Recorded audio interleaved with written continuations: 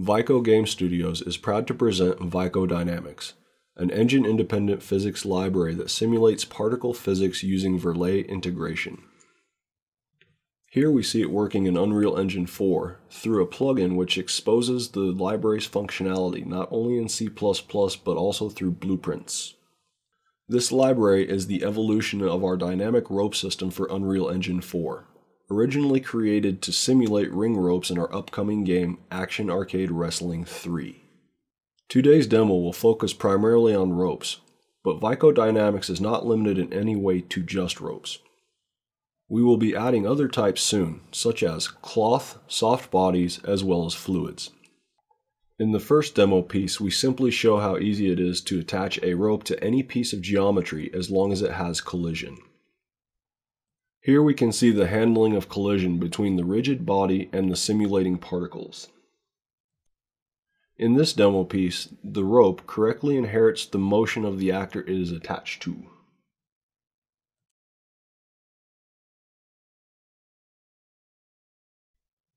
Going further on the previous demo, a slightly more complex system is set up. Now we can see the interaction with other simulating rigid bodies. And here as well, the impact force is transferred correctly to the colliding rigid bodies.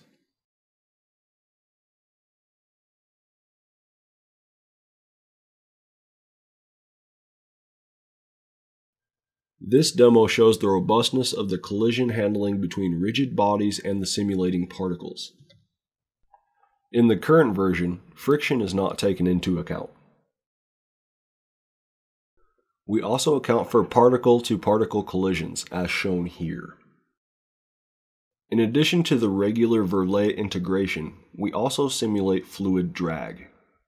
Here, the three ropes have different drag coefficient values, but the simulation atmosphere is set to regular air density.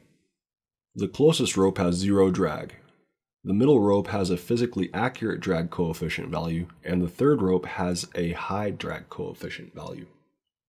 The fluid drag simulation takes into account the particle radius, atmosphere density, fluid velocity, and the per particle drag coefficient value.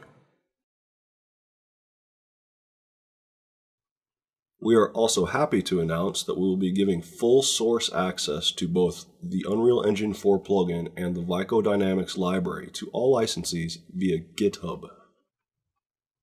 This includes everyone who's purchased our Dynamic Ropes plugin for Unreal Engine 4. We hope this project grows with the community and helps developers create amazing games, not only with Unreal Engine 4, but with any engine you wish.